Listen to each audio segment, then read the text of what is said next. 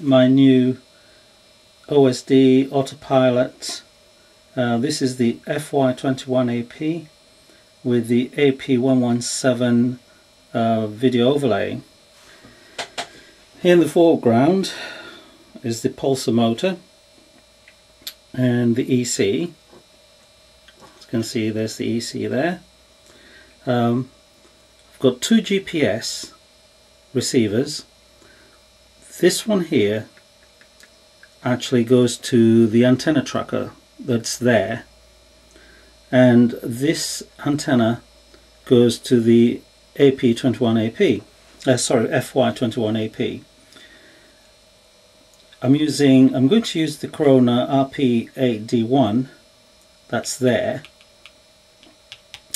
And to power my system I'm using the 12 volts for the battery and also I've got this battery here that's going to power the transmitter and the receiver. What I've done, I'm feeding 12 volts into this regulator and I'm dropping it down to only 9 volts. And then from 9 volts, I'm feeding it to another small regulator here that takes 10 volts and drops it down to 5. It's far cleaner. I found that with this regulator here, when I applied 12 volts and selected 5 volts output, the RF noise was so high it actually caused problems. And I only remembered an old trick to try and find out what was causing all the issues with my last aircraft. And I got my GY 401 the Futaba gyro in heading lock uh, connected a servo to it. And as soon as I plugged this unit this regulator in the gyro brought close, you know, sitting close to this, would start losing its position and begin to drift. And as soon as disconnected it, the drift would stop. So I reckon this regulator outputting 5 volts or 3 volts is just noisy. I know it was getting very hot, but it's not getting that hot anymore. So that's basically the kit there.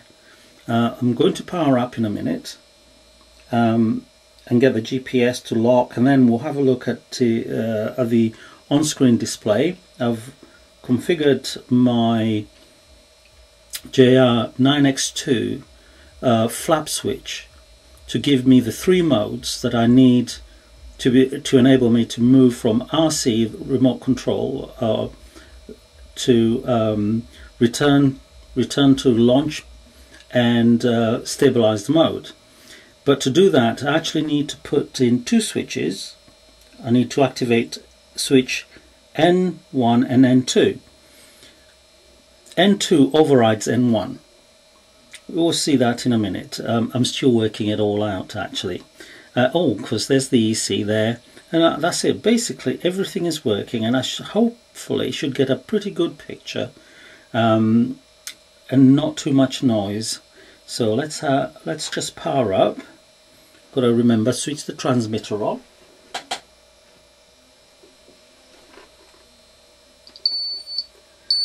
As you can hear, I've got a warning that I've got a switch on, so, oops, and that's uh, the AP uh, mode select switch has been left on. So we're on now. We're on, we're on, we're on. Pop that in there get this. Basically my battery is sitting here to stop everything flying off the table. So if I just turn that round.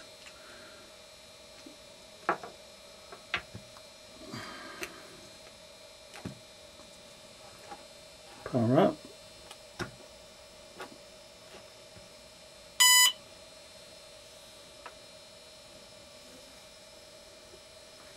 That's on. Okay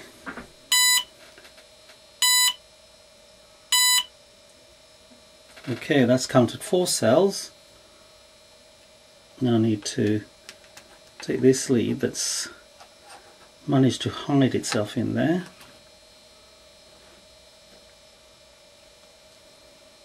And plug. This is now plugging the OSD powering up the OSD, the, uh, the sorry, not the OSD, the video camera and transmitter. There we go. Oh, and the OSD. Mm. Right. As you can see, we've got the green light here showing that the regulator is on you can just make out that flashing blue there so the satellite and that's the AP uh, sorry the um, on-screen display. And over there that little flashy light just there that's my tracking antenna. So everything is in. My camera should be powered up.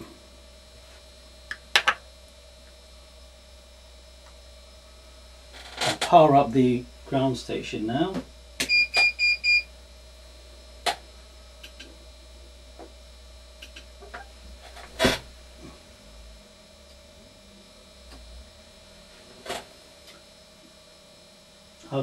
off camera actually so I'll just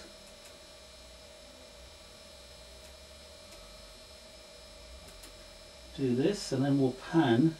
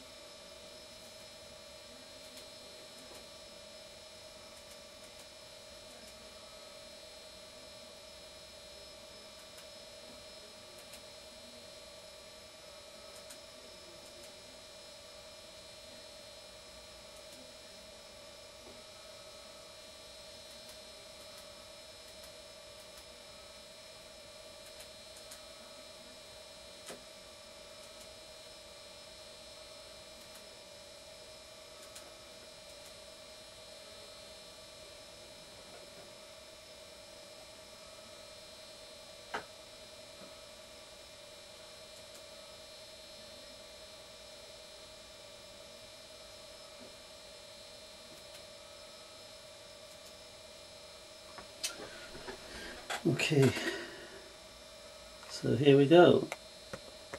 So that's the kit there now. Basically everything seems to be working fine. Regulator, AP, there's a tracking antenna, and this little gizmo here, that's uh, my 9 volts to 5 volt step down.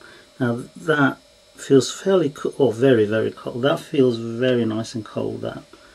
Right, tranny is on.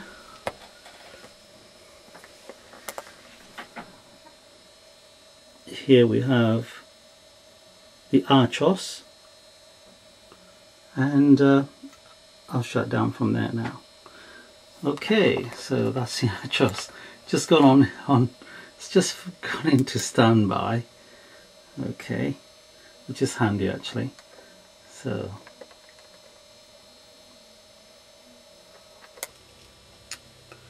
okay um, that's the tracking antenna mm, rate 19% not very really good considering I'm right next to it but um, it's okay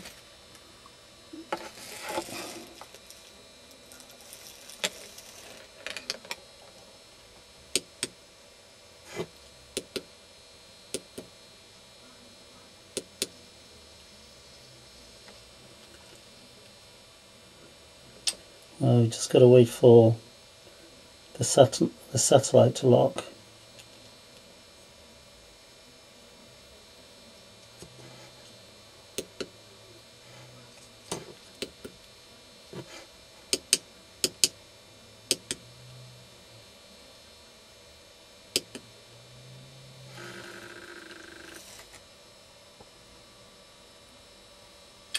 we need to look at that. There's a little bit uh, not quite right there something's not getting through but we'll sort that out with all these wires and electrics it's not exactly uh, unexpected to have uh, a few issues. Um, that's uh, the back of the video splitter, the diversity. Cables and wires.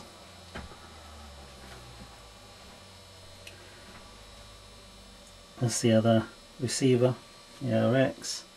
And of course uh, the Archos actually lives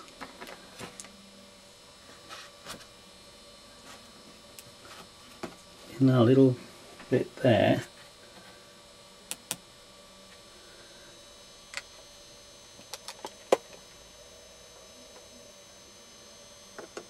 Still waiting on satellites. Actually surprised I haven't got some satellites yet usually it doesn't take this long but we'll see